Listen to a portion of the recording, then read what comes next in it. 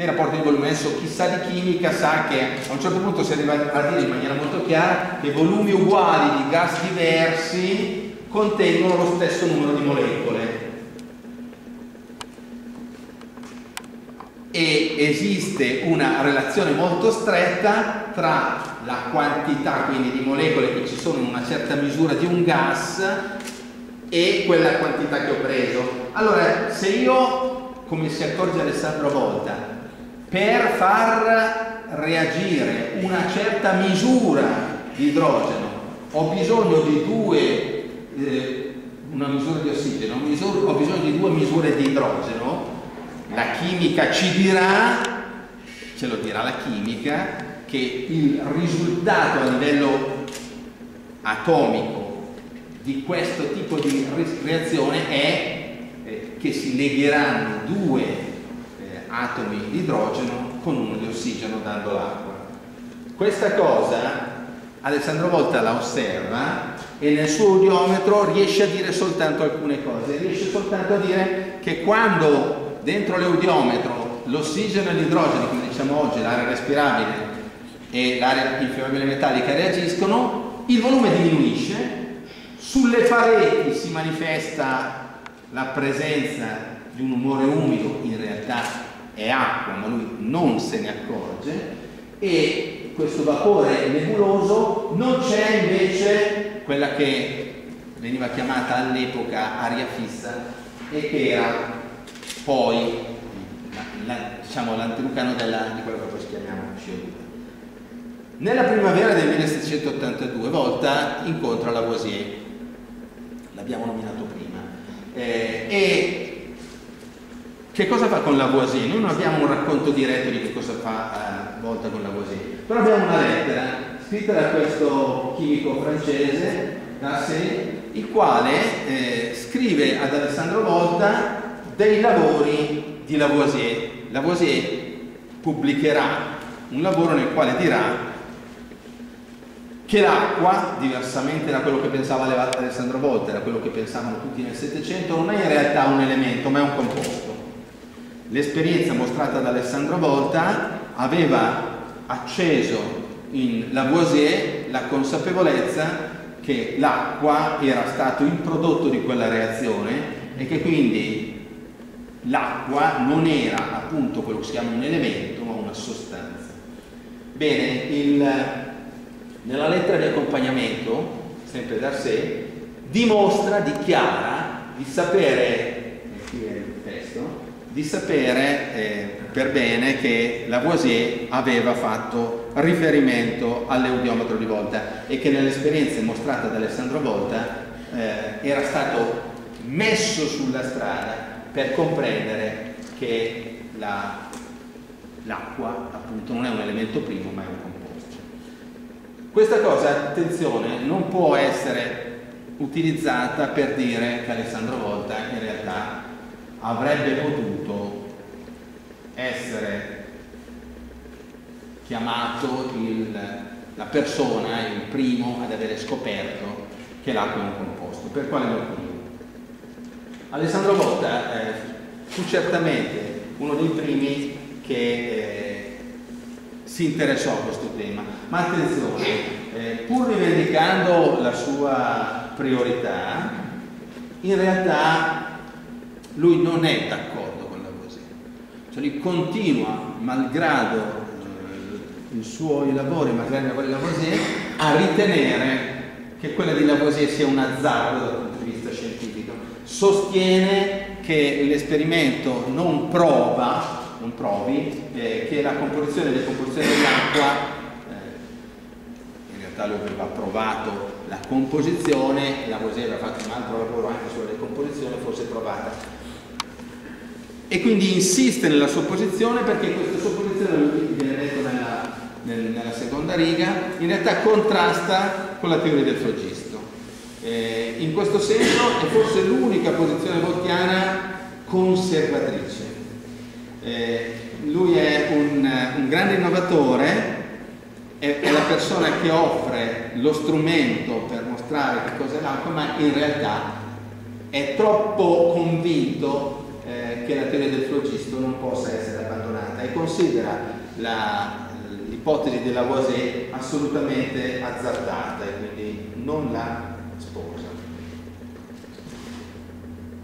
Ho detto prima della chimica, andiamo avanti. E, e questo fatto che qui citiamo è notissimo, il fatto che eh, Alessandro Volta eh, per primo raccoglie un'aria sconosciuta e che si accorge essere un'aria infiammabile e che chiama aria infiammabile nativa delle paludi. Lo scrive in una serie di lettere, eh, tra l'altro qui c'è eh, una serie di riferimenti anche locali, ma li eh, ci sorvoliamo se non stiamo tutta la serie, io parlerò per due giorni. Dalle misure con, eh, con l'eudiometro però Volta si accorge che questa aria infiammabile non è l'aria infiammabile metallica, è un'altra cosa. Se ne accorge perché? Da che cosa se ne accorge? Eh, se ne accorge perché una misura di infiammabile nativa delle paludi brucia completamente con 8 o 10 misure di aria comune. Allora, tu come fai a capire che quell'aria non è quell'altra? Lo fai andando a utilizzare quell'eudiometro, dicevo prima che questo diventerà lo strumento fondamentale dell'inizio della chimica dei gas, eh? Eh, andando a vedere quali sono le quantità che sono necessarie, qual è il rapporto tra le quantità che sono necessarie per ottenere una reazione completa. Eh, qui è dato il dato della chimica moderna, il metano oggi lo chiamiamo, lo chiamo con la formula CH4, con due eh, molecole di ossigeno ci dà CO2 e due molecole d'acqua. E qui ovviamente non vi faccio fare i calcoli aritmetici, ma dobbiamo anche ricordare che usando l'aria respirabile l'ossigeno è un quinto di tutta l'aria respirabile, i quattro quinti sono azoto. Però se qui c'è qualcuno che sa di chimica ovviamente questa cosa. Da questi lavori lui arriva a fare alcune cosettine. La più conosciuta è la famosa pistola pneumatica. Questa è la pistola che c'è nel più voltiano. In realtà, se osservate bene, si tratta sostanzialmente di una, adesso, la forma più semplice è l'idea di un tubo eh, con un gello di apertura, in questo caso il gello lo vedete qui sotto, vedete questo lato, con il quale aspirando come con una siringa si può aspirare una miscela di aria infiammabile metallica e di aria respirabile. Lui chiama questa roba miscelatonante. Lui aspira questa roba, dopodiché al posto del pistone mettiamo un tappo e attraverso questo foro che lui chiama focone lui accende con un acciarino oppure con un, con un, con un solfanello come chiama lui, c'è un, un cordino imbevuto di zolfo poi acceso, infila la fiammella, attizza la, la, la reazione e la reazione esplosiva fa partire il tappo. Questa pistola la chiama pistola fluoropneumatica nel 76. Subito dopo la trasforma in una pistola elettrico flogopneumatica. E che cosa, cos'è la differenza? La differenza sta semplicemente nel fatto che l'innesco è dato da una scintilla che è provocata attraverso una scarica, adesso voi vedete un cilindro metallico, il tappo che parte, eh, questo cilindro metallico ha un, tubi, ha un elemento che va a sfiorare la superficie opposta, l'elemento è tenuto in mano, la scarica va dal, dall'elemento metallico alla eh, carcassa che poi scende a terra attraverso lo sperimentatore e l'esplosione fa sparare questo oggetto. Questa è la pistola che c'è al tempio e quest'altra è un'altra pistola molto più semplice fatta semplicemente con un vaso di vetro con due punte che si inseriscono dai lati la scintilla genera l'esplosione e il tappo che sta sopra spara. Questo evento non ha mai avuto una, eh, come dire, importanza come arma, ma soltanto un'importanza come, come, oggetto di tipo applicativo. Eh, queste sono parole di volta, lui dice eh, pistola o scopo elettrico aero infiammabile o elettrico floco pneumatico se tal nome non dà fastidio e lo scrive, lo descrive in tre lettere del 77. Questo foglio che un foglio autografo di volta presenta un disegno che vedete lì sotto, che in realtà è un'idea voltiana, mai realizzata, però che fa capire eh, in che direzione muove, eh, egli immagina che sia possibile far sparare una sua pistola elettrico-flogo-pneumatica posta a Milano facendo eh, trasferire il fluido elettrico di una scarica fatta a Como attraverso un conduttore mantenuto eh, staccato, isolato da terra con dei pali di legno. Eh, quindi lui in realtà immagina, immagina la possibilità che possa essere utilizzato un fluido elettrico per trasmettere un'informazione. Ovviamente queste non sono eh, se non dei progetti, delle idee, ma invece è un oggetto assolutamente voltiano, lo trovate al Tempio, il famoso accendilume, qualcuno lo chiama lampada di volta, molti è un accendilume. In che senso è un accendilume?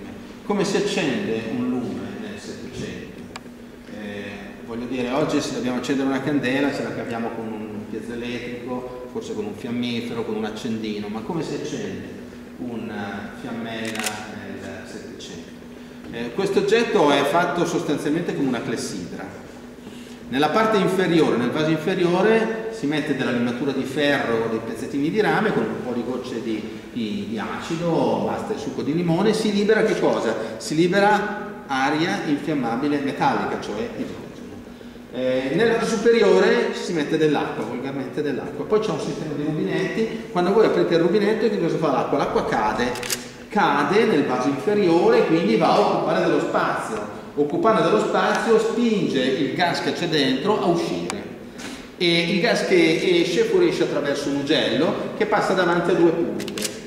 Se tra queste due punte, nel mentre che esce eh, il gas infiammabile, io faccio scoccare una scintilla, questo gas si accende.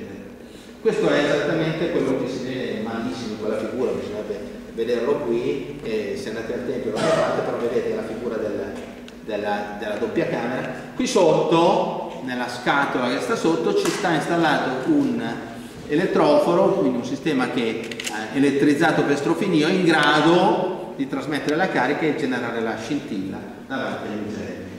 Eh, questo oggetto eh, è un oggetto vero, cioè un oggetto inventato, non è soltanto è il, qui viene descritto cosa succede, è un oggetto poi replicato, si trovano credo anche al, al liceo Volto oggetti di questo tipo. Qui invece eh, questo riferimento è estremamente importante, chi ha brevettato il motore a scoppio? Il motore a scoppio in realtà è stato brevettato da due italiani, anche se però in realtà non hanno avuto grande successo perché qualcun altro poi arrivato dopo è riuscito a, ad avere più successo di loro. Ma in realtà Eugenio Barsanti e il suo giovane collega Luciano Piucci, Eugenio Barsanti è di Lucca, eh, scrive, lo scrive, che per immaginare questo motore a scoppio il punto di partenza è stata la pistola di volta. Eh, siamo, scritto la data, siamo nel 1853, in realtà poi qui c'è un problema di brevetti perché in realtà in Italia non esistevano brevetti, loro lo fanno in qualche modo registrare a Londra, eh, è uno sconquasso, insomma una delle tante storie infelici del nostro paese, qui c'è qualcuno che riesce a immaginare delle cose eh, straordinariamente innovative, poi c'è qualcun altro che se ne mangia il merito. Però la storia è esattamente questo, Barsanti parte da volta, parte da quella cosa che dicevamo prima, parte dal fatto di essere in grado di accendere una reazione tra un'aria infiammabile e l'ossigeno all'interno di un vaso chiuso. E questo diventa il principio del motore Ma non basta, allora, abbiamo detto all'inizio della chiacchierata che dal punto di vista dei temi del calore e della temperatura c'è una grandissima confusione Bisogna arrivare verso il 1830-1840 per avere un'idea chiara, simile a quella che abbiamo oggi, di cos'è il calore e cos'è la temperatura e credo che ancora oggi nel, dire, nel sentito popolare ci sia un po' di confusione. Ma eh, una cosa si sapeva, si sapeva che il mercurio, il mercurio eh, si dilata in maniera uniforme con la temperatura. Eh, perché? Perché questo non è assolutamente vero per tutte le sostanze, pensate all'acqua. L'acqua non è affatto vero eh, che si dilata in maniera uniforme con la temperatura. Eh, adesso non ci stiamo a soffermare su come fanno a sopravvivere i pesci quando eh, il, eh, i laghi sono gelati. Allora, sulla base di questa cosa qui, Volta si mette a fare delle ricerche e andare a studiare come varia il volume dei gas al variare della temperatura. In realtà non si dedica a tanti gas, si dedica allo studio dell'aria e il lavoro che fa è quello di andare, eh, anche questo è un disegno a piano, andare a vedere che cosa succede. Adesso questo disegno è abbastanza semplice, il Volta dice utilizziamo una vasca eh, contenente olio di lino ben purgato, ben purgato vuol dire che l'ho fatto bollire, ho fatto in modo che se ne vada tutto il vapore che eventualmente l'umidità potrebbe essere all'interno, metto questo, eh, dentro questo vaso contenente olio di lino un, diciamo, un bicchiere, in questo caso evidentemente un tubo capovolto, che cosa succede? L'aria rimane all'interno evidentemente voi non riuscite a vedere questi numeri, forse sì, però eh, osservate che si parla eh, 42 e 40, 60 e 58, 68, 66, 64, 62, 70, 68, 71, 70, 73, 72. Questi sono eh, valori della temperatura misurati al termometro a un termometro che non eh, misurava i gradi centigradi ma utilizzava i gradi Reaumur, non so se qualcuno sa che all'epoca si era inventato questo termometro con lo zero alla temperatura di fusione dell'acqua e 80 gradi alla temperatura di ebollizione. Di ebollizione. Bene, sono tutti a degradare. Osservate questi valori sono a degradare. Cioè l'intelligenza di Alessandro Volta è quella di, di dire che se io metto il mio tubo contenente il mio liquido e scaldo, cosa succede? Che il gas si dilata e se ne esce. Allora io devo partire da una condizione in cui il volume decresca questa cosa lui fa con questo apparato e con un altro che adesso qui non vi è rappresentato e riesce a ricavare una uh, delle leggi prime del comportamento dei gas e la descrive a Martino Marum sulla equabile dilatazione dell'aria per calore. Eh, questo oggi non lo potremmo dire così, perché dovremmo dire dell'uniforme dilatazione dell'aria al variare della temperatura. Qui c'è evidente la confusione tra calore e temperatura, come dicevamo prima.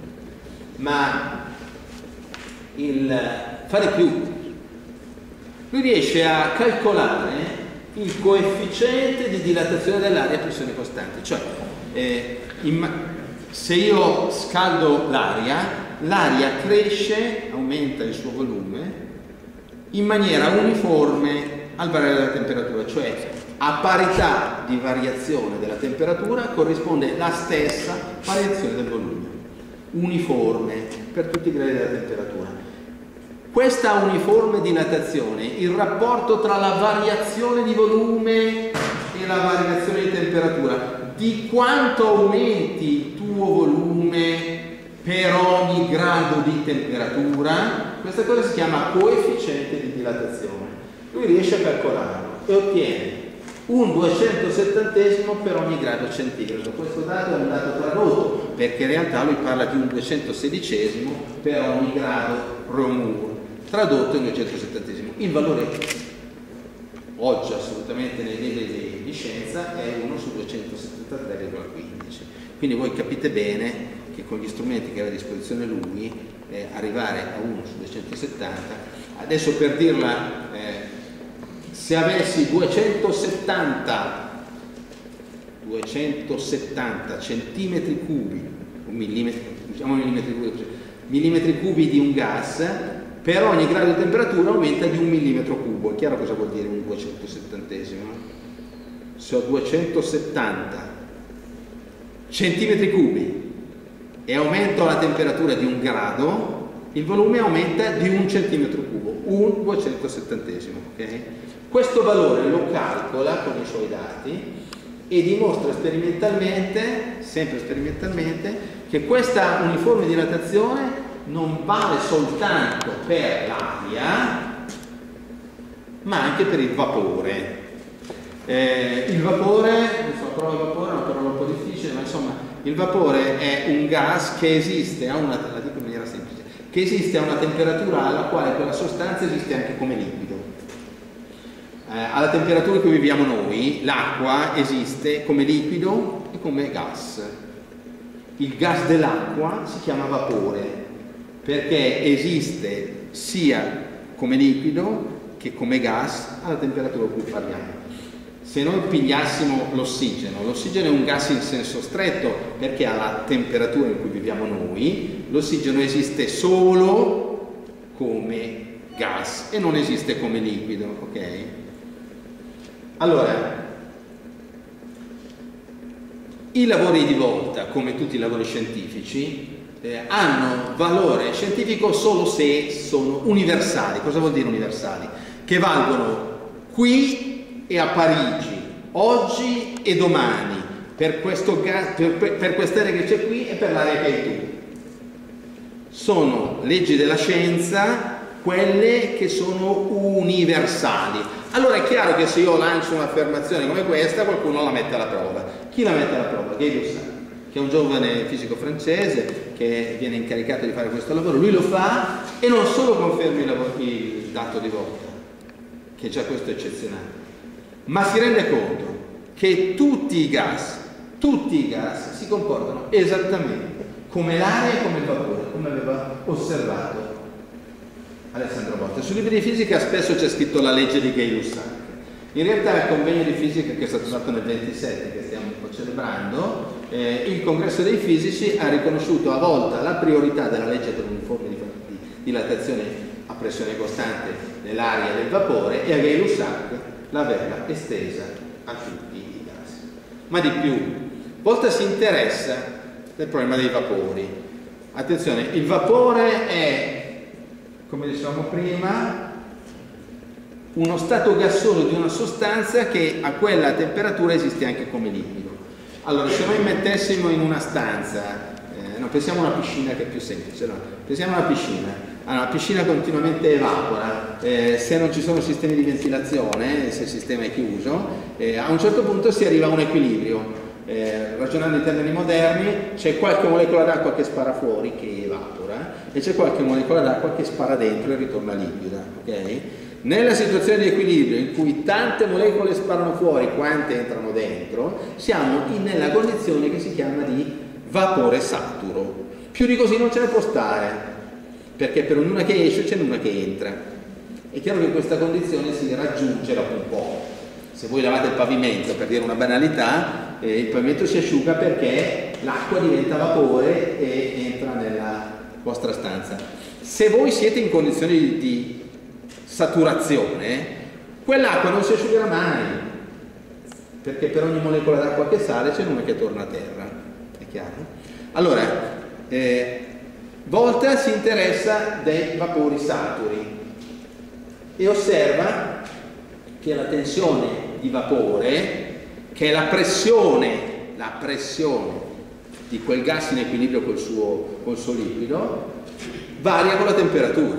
Beh, questo è abbastanza ragionevole, no? se noi abbiamo un equilibrio a 20 gradi dentro un contenitore, immaginate un vaso chiuso in equilibrio, se, se aumentate la temperatura, questo equilibrio si stabilisce a una pressione maggiore.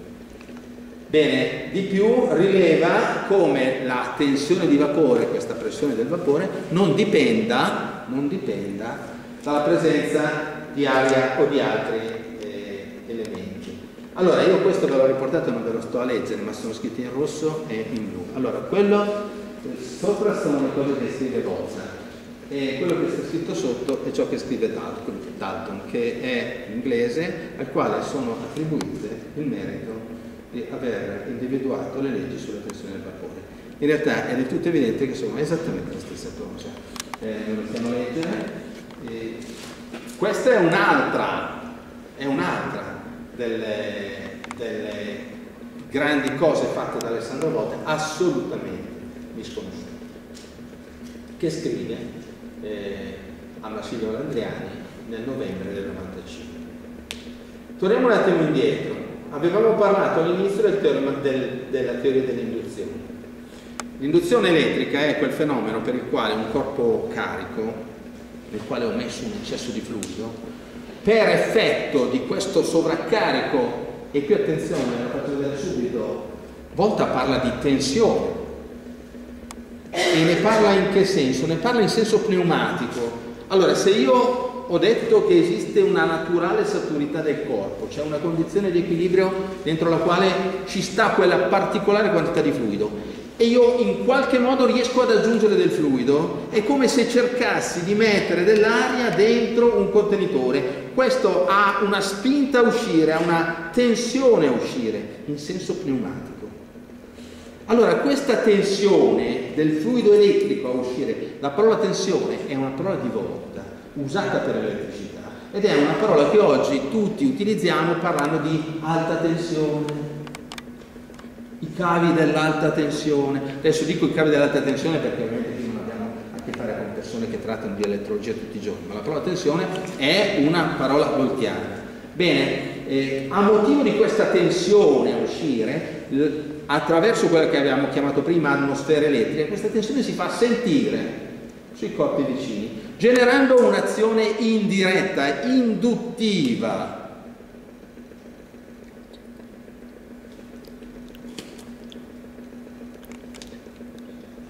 Oggi la parola che troviamo sui testi di fisica è una parola più generale perché la si trova anche in altri contesti, è la parola potenziale o differenza di potenziale.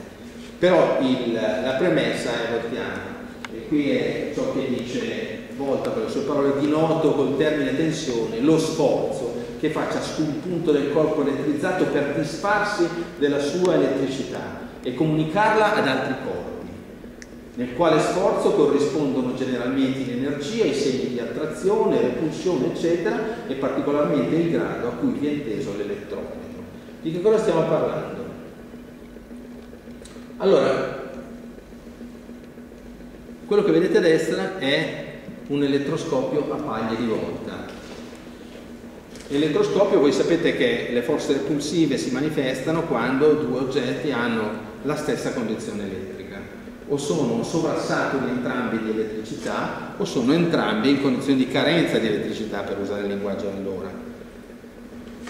Alessandro Volta si prova prima a realizzare un elettroscopio eh, tutto particolare utilizzando due paglie, due paglie vuol dire due fili d'erba, l'estate quando fila l'erba diventa molto lunga, la tagliate, vengono due filini secchi, asciutti, eh, che sono in grado, respingendosi e se sono imperniati in un punto, di, di varicare in maniera molto chiara. Perché questo?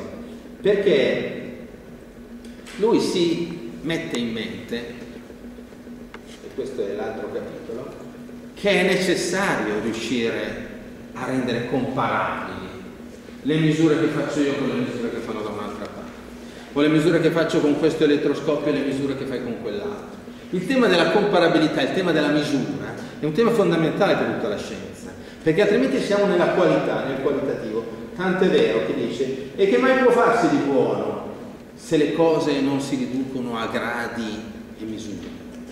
Eh, ed è il primo davvero che pone seriamente il tema della misura in ambito elettrico e dice del, dell'elettrometro, scusate, quello che veniva chiamato elettrometro a foglie di Bennett, l'avrete visto tutti nelle scuole perché è il dispositivo più semplice. Chi a scuola ha fatto un po' di esperienze di elettrostatica, di solito si usa questo, questo sistema con due foglioline d'oro molto leggere o addirittura di alluminio, le quali divaricano in maniera particolarmente visibile, molto molto sensibile. Però dice per tale ragione anziché elettrometro chiamare dovrassi elettroscopio. Allora la parola che volta impone non è elettrometro quella roba lì, è elettroscopio. Mi serve per vedere che c'è l'elettricità, ma io voglio sapere quanta c'è e voglio essere in grado di misurarla. Allora si propone addirittura di definire un'unità universale di tensione, mediante, attenzione, questa è una questione che vediamo tra un attimo, mediante una misura di grandezza geometrica e meccanica, che non è una cosa da poco. Allora, la prima cosa che fa è quella di prendere il suo elettroscopio, non so se vedete la figura, forse non si vede, di mettere in una boccetta quadrata e di mettere, faccio vedere la figura così se la riuscite a vedere, e questa è l'immagine del tempio, di mettere sul, sulla bottiglia una scaletta graduata in maniera tale che sia possibile misurare l'angolo di divaricazione. E ovviamente in maniera anche qui, ovviamente anche un pochettino ingenua, la misura dell'angolo certamente per quell'elettrometro è una misura della quantità di fluido elettrico che è andata lì sopra. Poi c'è il problema della comparabilità, nel senso che due elettrometri saranno ovviamente molto diversi, ma ovviamente se quella quantità genera questo tipo di divaricazione su questo elettrometro e un'altra un pochettino diversa su quell'altro, io ho un meccanismo per tradurre l'una nell'altra. Però ovviamente siamo alla, alle premesse.